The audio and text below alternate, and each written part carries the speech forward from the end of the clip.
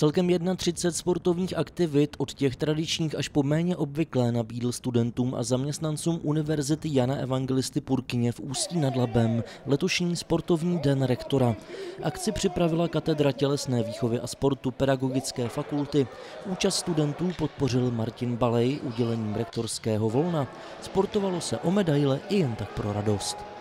Určitě je to takový ten teal binding, kde se vlastně potkáváme uh, trošku i v jiném oblečení, v jiných situacích, uh, kde jsme si i třeba se studenty více rovni, ne, že bychom jinak nebyli, ale přece jenom v tom sportovním zápalu uh, se tak smívají ty hranice, že si myslím, že to je dobré i pro tu pospolitost univerzity.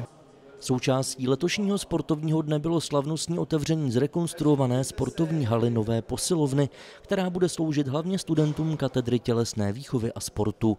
Prostory původně sloužily jako protiatomový kryt, nyní disponují nejmodernějšími cvičebními stroji a vybavením. Jsou to stroje českého výrobce, jsme zvolili hlavně kvůli dostupnosti servisu a, a, a dobrým službám okolo. Eh, vybavení posilovny je si myslím, že eh, dostatečný. Eh, v Ústí asi podobně vybavená posilovna není a zacvičí si tady skutečně jak začátečník, tak dá se říct třeba profesionál mistr světa. Na novou posilovnu se přišli podívat také zástupci ústeckého magistrátu, konkrétně náměstek primátora Michal Ševcovic. Já jsem rád jako bývalý absolvent tohoto ctihodného ústavu, že se univerzitě daří a chtěl bych i popřát, aby i v budoucích letech se rozvíjela tak jako v současné době. Co jsem viděl, i tu halu, i tu posilovnu, tak je to nádherná záležitost. Určitě to stálo hodně prostředků a doufám, že i studenti, a nejenom studenti, ale možná časem i třeba žáci ústeckých škol budou mít možnost využít tady to sportoviště.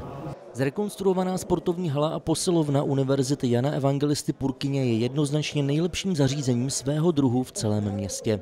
Přesto ji ještě čekají dodělávky. Stále ještě čekáme na dodávku eh, branek, eh, futsalových a házenkářských, eh, sloupků pro, pro volejbal a některá drobná další zařízení. Předpokládáme ještě novou informační tabuli, plus eh, zařízení, které slouží k rozdělování prostoru sportovní haly na eh, dvě nebo tři části. Pak by to využití bylo ještě násobně lepší. Jedním z hlavních bodů programu letošního sportovního dne rektora byla exibice na veslařských trenažerech. Soutěžili fotbalisté z fotbalového klubu Ústí nad Labem, basketbalisté z Lunety i hokejisté Ústeckého Slovanu. Tým Ústecké univerzity v tomto klání získal bronzovou medaili.